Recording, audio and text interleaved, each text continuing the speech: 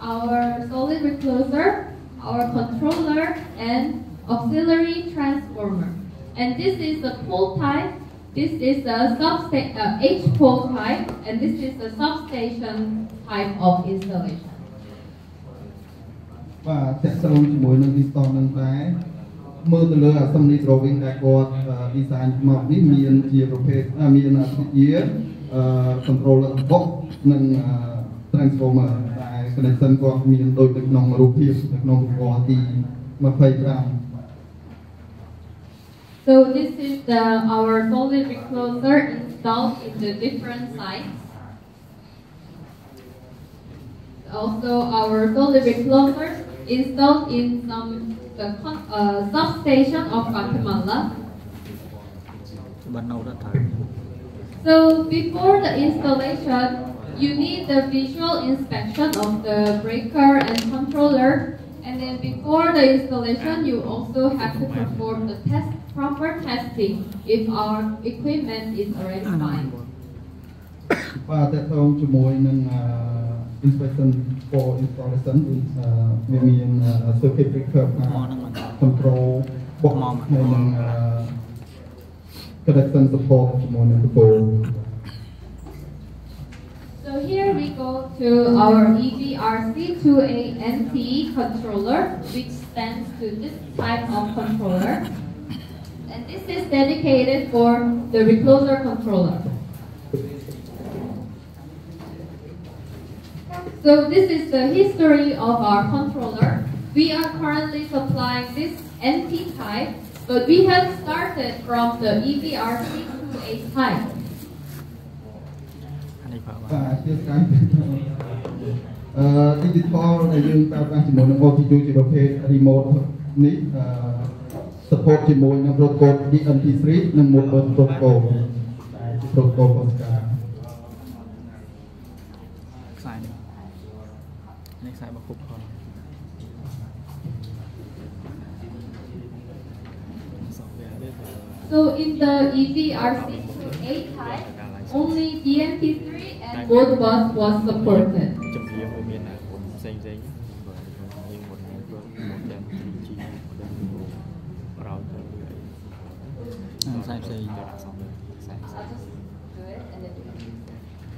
So, in our first generation, it was EVRC2A. We only supported BSC3 and the mode was protocol. But since the 2AN, we have added the network function. And in the E EVRC2A NT now, we have a, a voltage, we can have a voltage measurement and the three phase of the source side. And then we can also have a voltage measurement in the three phase of the load side. So that's the, the thing changed from our NT controller. And this is the specification or the control uh, control functions that can be supported for different kinds of relays. But you can just see, you can refer to this table to compare the different products. But just be aware that our supplied product will be EVRC 28NT. So you can refer to these tables.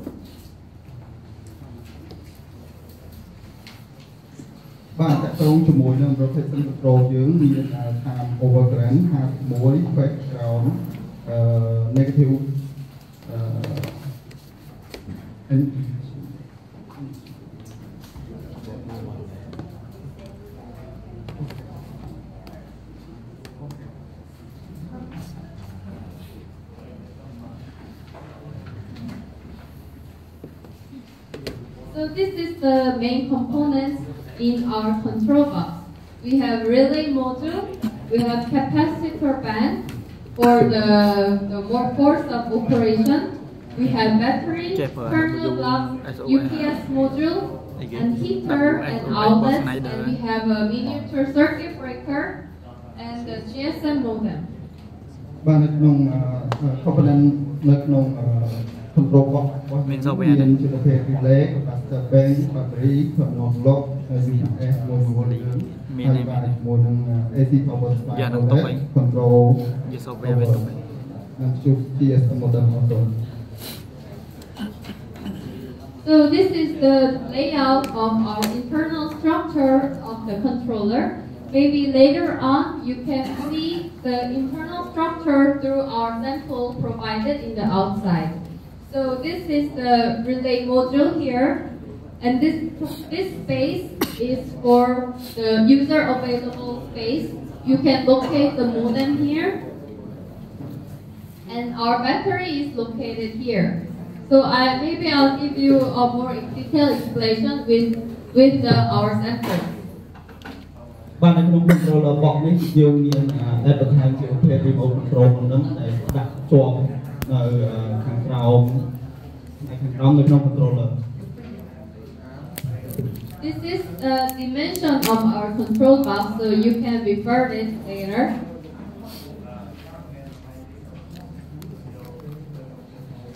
And this is how our relay module looks like. So this is the front panel, and this will be the side panel. So this is a microprocessor-based digital control digital controller. So you can have different features like protection, control, and monitoring, and remote remote control.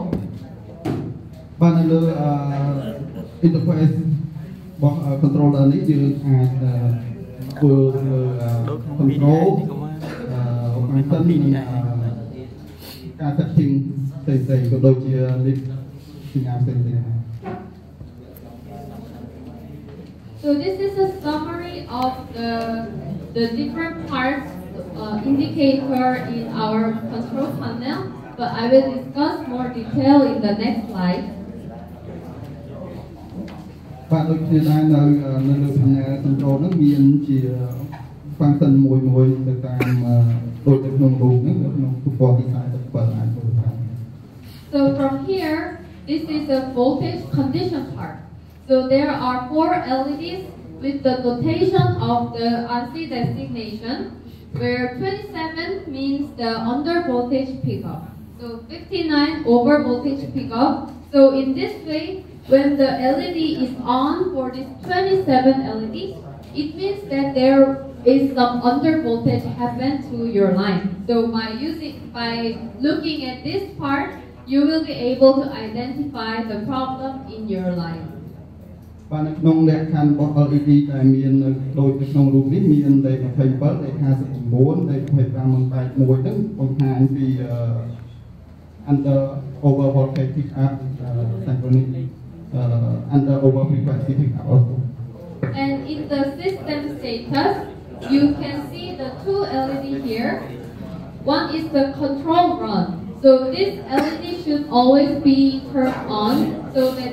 it means your controller is running normally.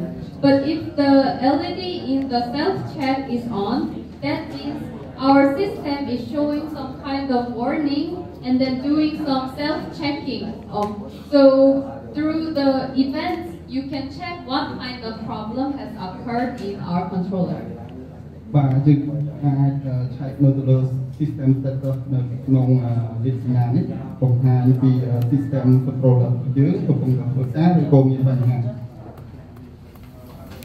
This shows the our recloser sequence status.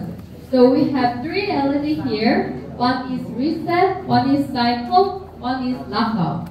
This means that when the LED is on in the reset status, then it means our recloser is in the normal status and there is no any trip or close operation. It is just in the closed status with the normal current flow. But when it is in the cycle LED, it means the recloser is performing its operations such as trip close or trip close. So when whenever recloser is doing its operation, then there will be LED in the cycle. And whenever the recloser goes to lockout status, which means the permanently open because of the permanent fault, then there will be lockout LED here. យើងអាចឆែកមើលទៅលើ status នៃ LED ហ្នឹងមានបង្ហាញដូចជា reset cycle lock out ដែលមានបង្ហាញក្នុង question And this is the part for the battery indicator. So here you can see AC supply uh, part. So whenever this LED is off, that means you have lost the AC power. So your controller should always have the AC power, so you have to be aware if this LED is off or not. បាទតើទៅជាមួយនឹង port indicator the flash LED នេះមានជាក្រោមទៅជួប F4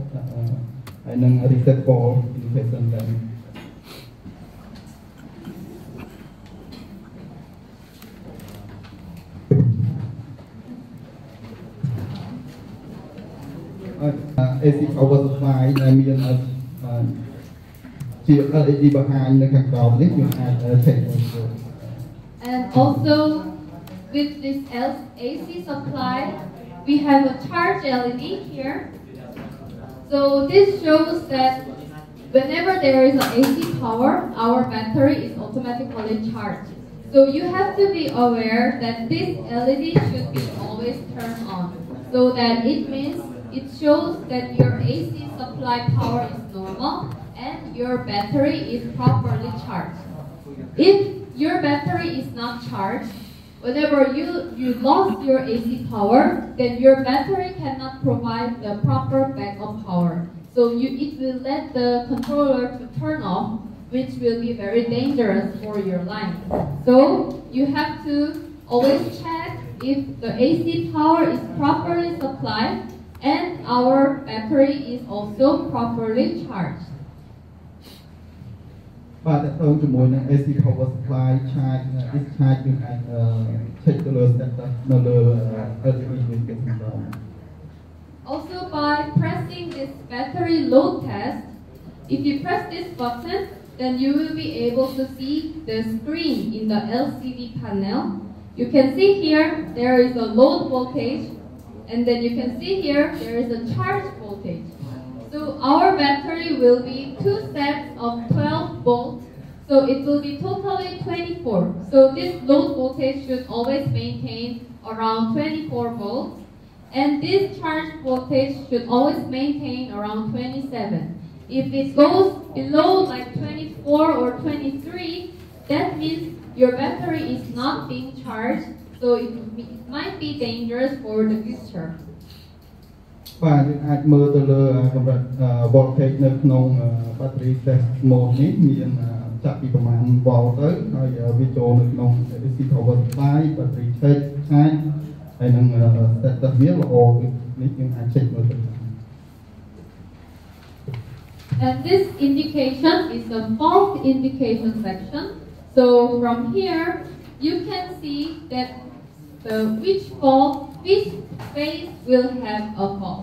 So whenever there is a fault in the phase A, then you will see here the red LED will turn on in the A part. If there is a fault in B phase, then you will see the LED in the B phase. So this shows you the fault indication for different phases A, B, C, and G. Và tại tôi chỉ muốn indication việc check mode của. យើង check មើលទៅលើ ABC ground sensitive earth for ទៅនៅក្នុងពណ៌ពីតាមនោះ And this, part, this trip time part shows that which kind of fault has occurred. So whenever the line has a fault, there can be some instantaneous fault and there can be a permanent fault. So this LED indicator will show you identify which kind of fault that your line has currently. So if it is the instant LED, this shows the instantaneous trip, which ANSI code is 50-1. With delay type of LED, that means it's the delay trip, which ANSI code is 51. And for high current, it shows the ANSI code of 50-2. បាទ uh, for indicator uh, យើងអាច check ទៅលើ system របស់ ABC និង ground sensitive for ដូចនៅក្នុង room ខាងក្រោមនេះ And this is the local control section. We have multiples of buttons here. In- From here, you can enable or disable the different kinds of recloser functions.